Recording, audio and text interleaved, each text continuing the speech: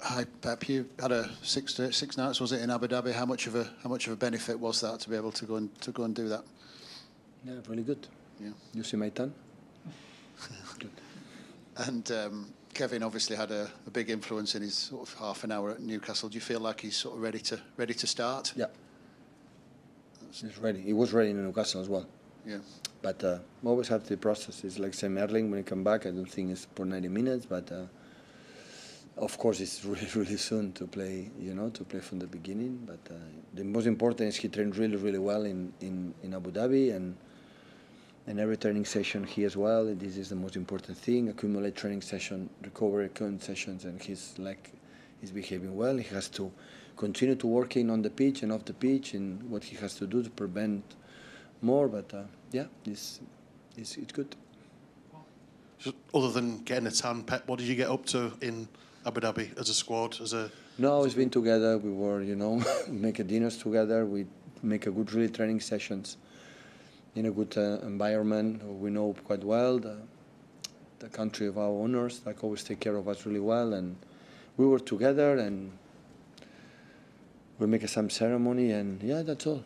So it was short time because we played tomorrow. Otherwise, we would stay one or two more days. But yeah, it was fine to change a little bit. Always was positive for us. The people is fresh, and yeah, come back home. In your experience, because obviously you've been there before for similar breaks, what kind of impact does that have on the squad? You know, you've been able to spend that time together and the impact is sessions. good, but it will be good if we win, and the people will say it was not good because we just in case we don't win. So the impact is good, whatever happens from now on, tomorrow game or in the future.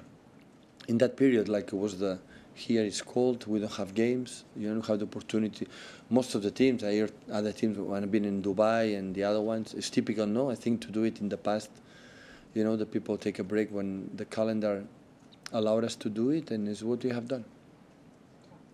Hi, Pep. You spoke a few times last season about how well the medical team here did with Erling to, to keep him fit and available every week, given the kind of niggling injuries he had at Dortmund. Now he's had this problem that's been hard to shake.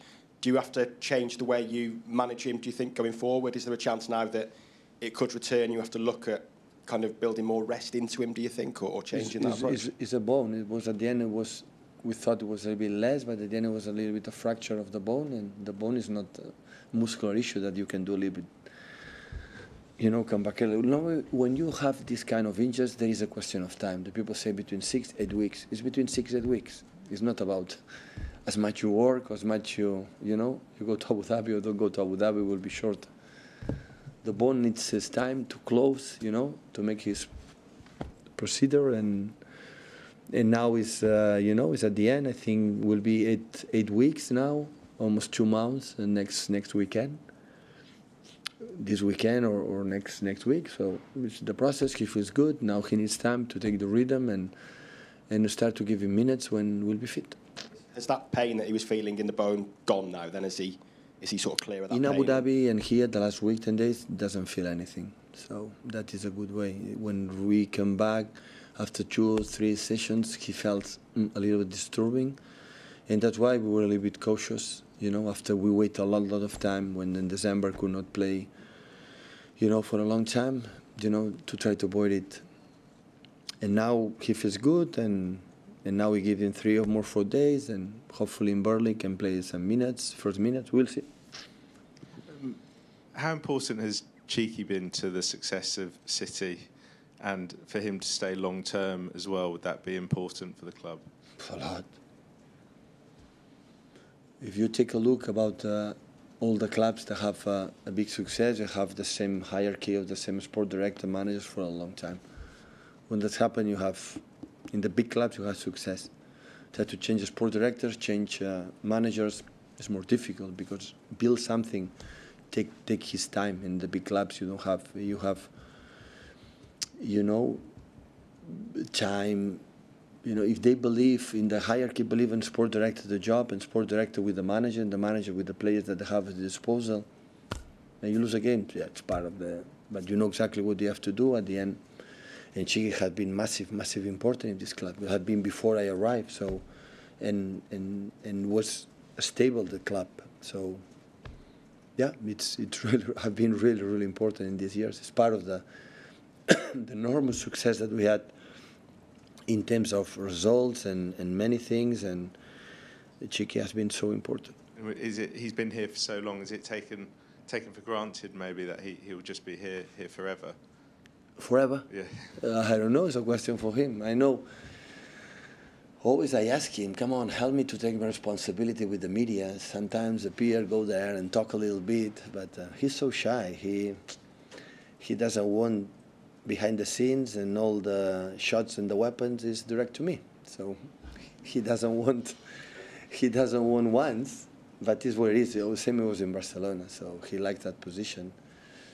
And uh, you know, I respect him a lot. A part of is a closest friend. We worked, we played together in Barcelona, so we met each other since I don't know, 25, 30 years. So, so I am more. Mm, he's more calm, and I'm more energetic. So this balance helps us to be, to work perfectly.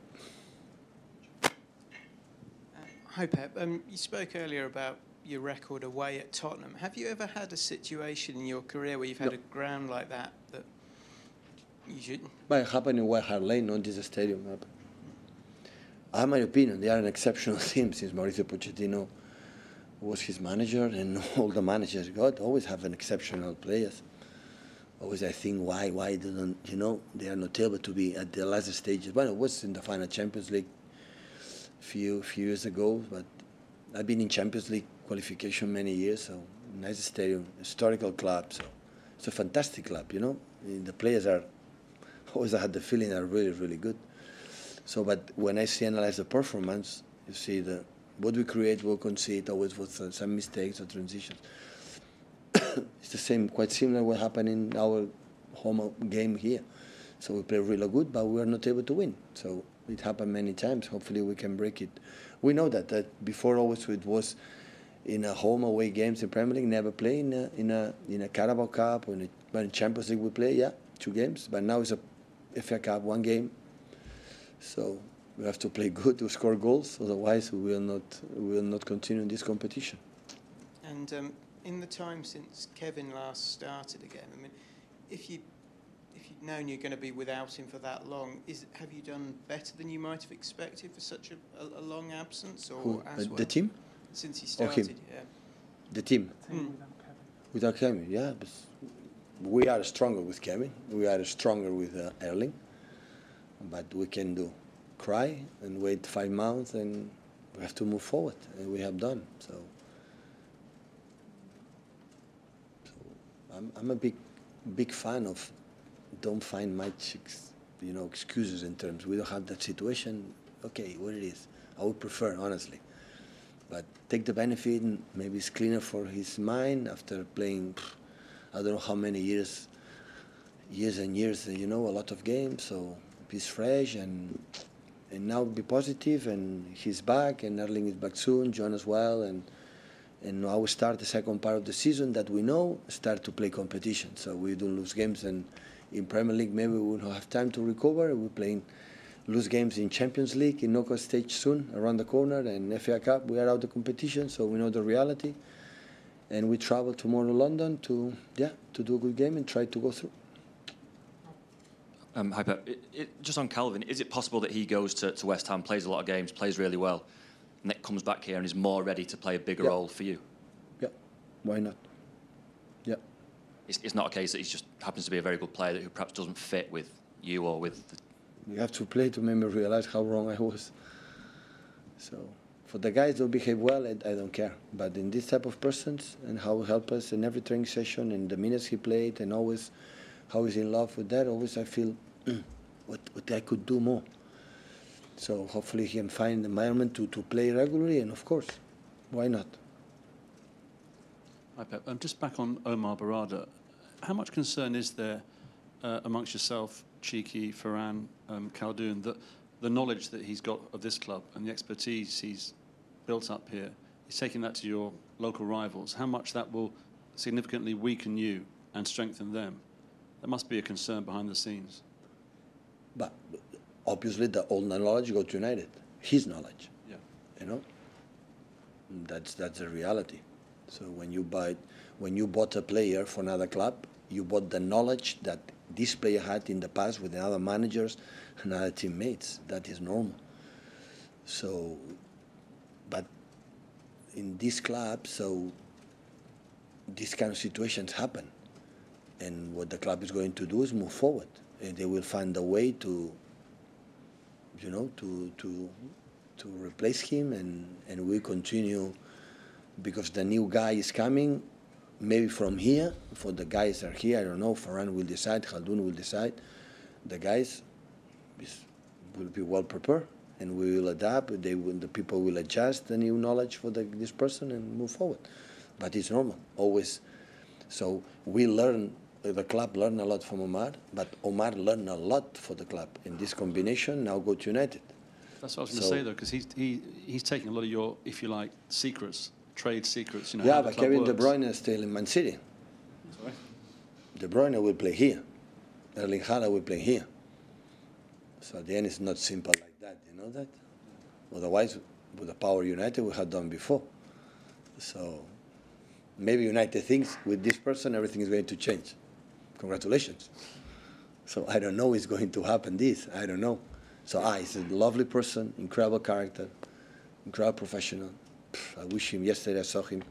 We hug each other. I wish, wish him all the best. Deeply, I wish him all the best. So because he's a, a fantastic person. What, what can I say? But I don't know if doing this, everything is going to sort it and and works. If it did happen, oh my God, they have to make an stand for Roman Berrada in the future. If it did happen.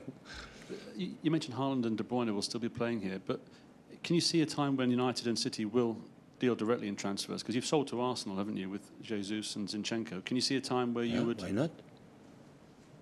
If one person isn't happy here, want to go to United in the players, and they have a, a deal for the right price, and three, four parts are agree, why not? What is the problem? So if Omar isn't happy here, want to go there, they have to go. So what can what can we do? So there's nothing wrong with that. So in the clubs, in the transfers, always has happened this kind of situation. We, we want a player from United. United is is uh, agreed to sell it and the player want to come and they arrive to agree for the transfer, why should not do it? So what is the problem? So because the winning or losing don't depend just for these specific things, for many things. To win and consistent for many things happen. So this is what I believe. That's one with Sam, please, guys. Hi, Pep. It, it's on, on Kalvin again. It may be a difficult one to answer because you said you feel sorry for not being able to give him the minutes. What, why has he not been able to make the impact here? He's obviously a quality player, I'm sure. for my decisions. you agree that too. For my decisions. I need a typical player for that and Is it a style thing? Yeah. Is it, yeah. we need in that position, we need another thing that uh, sometimes uh, myself, you know, struggle a bit to see him, that's all. But the qualities is there, are there. Otherwise, wouldn't have been national team and uh, the incredible what they have done in Leeds United. So the quality is there. It just I regret more myself than, than Kalvin. Another players, I would say, but how he behaved, he tried, it's my responsibility. At the end, I have to be here to help the players to develop, to help the players to be better players, to suit with uh, what we want to do, and I was not able to do it. Just, it's just to explain that because everybody knows he's a quality player, like you've, you've said a lot. When you say you need something specific for that role, like Rodri, if you can explain that, then it might be easier for us to understand why Kalvin hasn't worked out here, but he probably will at West Ham, for he example. has What is not, that thing? He has not to do like Rodri. Rodri is unique, and the other players are unique, has his own qualities. It didn't happen. So that's it. Thank you, guys. Okay, thank you. Thank you.